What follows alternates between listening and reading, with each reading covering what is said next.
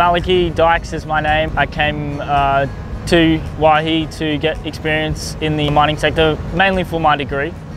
I'm doing a bachelor's degree in engineering with honours, also business management. I also am um, here to get some practical experience. I came from Brisbane, University of Queensland. Uh, have to do experience for our uni degree. It comprises of about 450 hours of vacation work. For your four-year degree, you've got to complete a certain amount of um, hours under a professional engineer.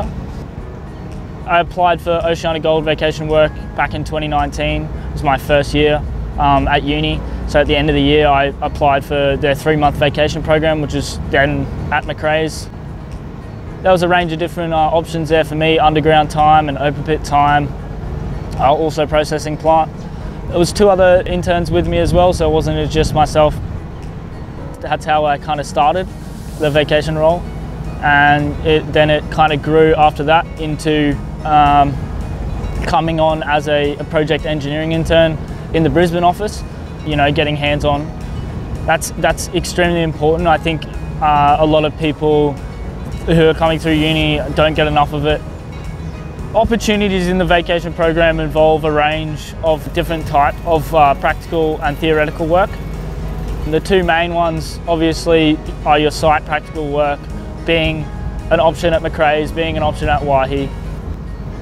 Oceana Gold really likes to understand what you want to get experience in.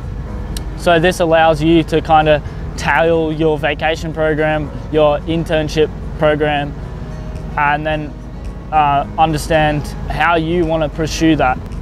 My experience um, with Oceana Gold has been far ranging and very, very wide. I've had a lot to do with a lot of different aspects of the company. When I came on as a vacation student at Macraes, I did a 12 week program and I had never been on a mine site in my life. I had, was first year out at uni uh, doing engineering and I thought, well, I'll come here with an open mind and I'll take as much in as possible and, and that's exactly what I did. I spent seven weeks underground and then the next uh, five weeks I spent open pit.